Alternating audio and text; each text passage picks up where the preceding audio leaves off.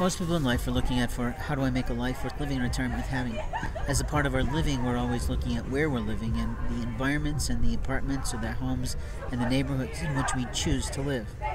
When a family goes to move someplace, they try to do these things. You can hear the noise in the background, I'm sure, and what we know is that young people and old people don't always know about the rules of peaceable enjoyment that in most communities they have ordinance about the rights of other people to have peaceable enjoyment of their own community. When I used to live in a marvelous townhouse in the Arts and Design District of Carmel, Indiana, I had a neighbor who understood this completely.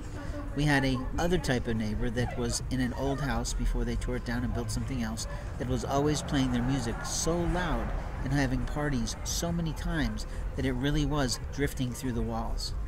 And in that regard, we talked about the importance of having peaceful enjoyment of our lives. And at that point, she did call police on those people. But the truth was the truth, and they were invading other people's spaces with their music, with their loudness, and with their attitudes that we govern the whole space. And that really wasn't the truth.